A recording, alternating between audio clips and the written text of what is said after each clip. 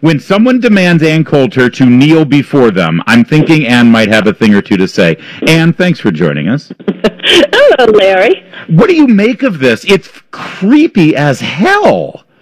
Uh, it's extremely creepy, um, though I sort of think the protesters are being scammed, and this is um, the cops. You remember the OK signal that some um, groypers persuaded persuaded. Oh yeah, if you use the OK signal, it really means WP for white power. yes. OK signal. Yeah, and the P signal means two genders. Um, you, you can get actresses going crazy on Twitter whenever anybody did the OK or the peace signal. Um, I think this dropping to the knees is is like this secret tribute to the officer who kneeled on on um, George Floyd. It's a very very odd oh protest. That's I much much prefer the one of the um, of the idiot actresses shaving their heads bald, um, which was Yes. done to French women who collaborated with the Nazis, incidentally. So it's perfectly appropriate um, that that white women shave their heads to show their support for Black Lives Matter. What I hate about this. Um, you know, apart from the total destruction of half a dozen cities in the United States, um, which won't come back. I mean, look look at Detroit, as I have discussed before, um, the most beautiful city, the gem of the United States. what is it now? It's one step above Newark. The idea that things that just come back after riots is false. Um, you come back after a 9/11 terrorist attack. You don't come back after after riots. Um, but what was I saying? It was something very important. I was driving to. Uh, we, well, we we were talking about this whole trend of uh, of kneeling and things. You said, but what really angers you about all of this? Oh, the grandstanding. Yeah. I mean, it's so cost free. Is there anyone out there defending this cop? Right. I've never seen such a lopsided debate. Every single conservative president, the attorney general, which, by the way, I think is completely inappropriate to have an attorney general calling a video, um, what we saw in that video, harrowing, and I forget what his other word was. Could could we have the trial first? Man, talk about putting your finger on the scale.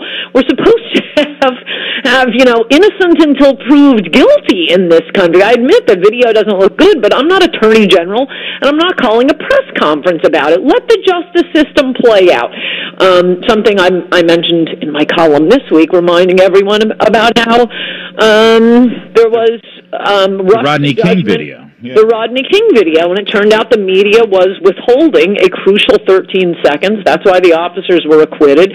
Everyone who sat through the trial, including Harvard-educated liberals, reporting legal reporters, said um, that they were embarrassed to admit it. I'm afraid, as I write these words, that yeah, of course the officers should have um, been acquitted. Um, no one knew what happened before those those 60 seconds that were played on TV over and over and over again. So I'm thinking we wait we wait to see all the facts. Um, but but I, I may be the only person in America saying that. Uh, so so where's the bravery? Yeah. in going out there and saying you oppose this. There's no one on the other side. I'm Right. sorry, that's not bravery. That's called grandstanding. Well, and, and, and it does call into question. I mean, I was asking this at the beginning of the week. It's like you- you're saying no justice, no peace, and you're marching for this. Well, we, this is justice. The cops have been arrested. We will have a trial. There is no cover up. There actually is transparency.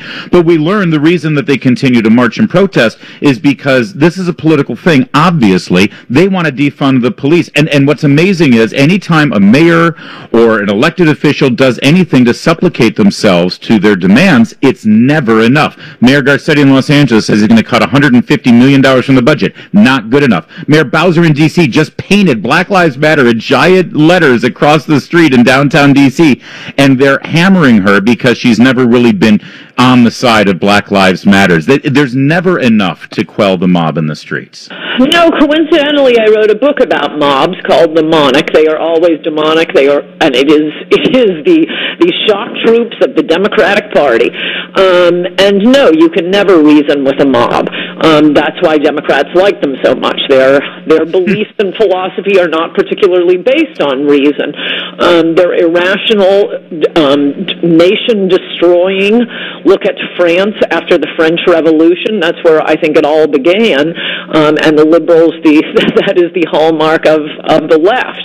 Um, that model went to the Soviet Union and to Cuba um, and to Cambodia, and they're trying to bring it to this country now. Um, but Ann, why, how can the Democrats? Um, sorry, go ahead. Uh, well, don't you think the Democrats should by now learn the historic lesson of how America reacts to this? You look at '68, you look at '72, probably uh, two of the most violent years in terms of, of unrest in the streets of, of this country, and both times the American voter says, "Yeah, we don't want anything to do with a party that aligns themselves with these lunatics. Yes. We're going Nixon." You know. Yes, yes, and I, although I've been um, a little testy with Trump for allowing cities to burn. Like I say, a lot of them aren't going to be coming back. How would you like to live in Ferguson these days? Doesn't matter how much money gets poured into these cities; they are they are gone, gone, gone.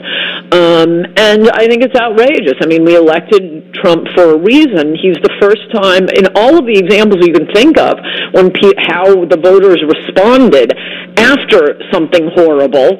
Um, the reason they voted for a Republican was because the Republican wasn't the guy in power. You can you can tweet out all caps law and order when you're not the president. When you're the president and you're not doing anything. On the other hand, Democrats, as you say, aren't taking advantage of this. As always, every day is a replay of the point of my my last book, Resistance is Futile. Trump does something um, stupid and embarrassing, and then the Democrats say to themselves wait, we can do something even more stupid and embarrassing. well, because their opposition to Trump overrides anything that they're actually for. I couldn't tell you what they are for at this point because Trump has so gotten into their head on that, in my opinion.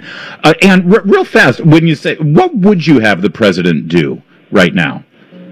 Um, the night a police station in the United States of America was burnt to the ground with the cops fleeing, I would have sent in the National Guard. I would have federalized the National Guard, gotten control of these cities. It would have been over in 24 hours. So the Insurrection Act triggered right then and there, not not allow for federalism and the governor to, to you know, the make their decisions, even if they're going to screw it up. The Supreme Court has held over and over and over again that the National Guard, it's, it's like, uh, for, for the Christians out there, it's like the Father, Son, and the Holy Ghost. Um, the National Guard is all three things at once um, under the president's control, under the state's control, and also a militia.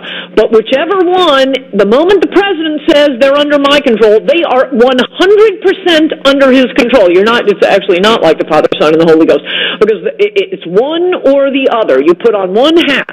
And the night I, I, a police station in the United States, what are we, Latin America? No, he let well, the fires rage, and most appallingly, um, according to reports, because he thought, oh, this will help my reelection. I'm sorry to say, I think it, well, I'm kind of happy to say, um, because I'm terrified of Democrats. Yeah, it probably will help his election, but it's appalling nonetheless. All right, we will leave it there. Always good to talk to you, my friend. I hope you have a good weekend. You too. Bye, Larry. That's Ann Coulter, AnnCoulter.com. It's for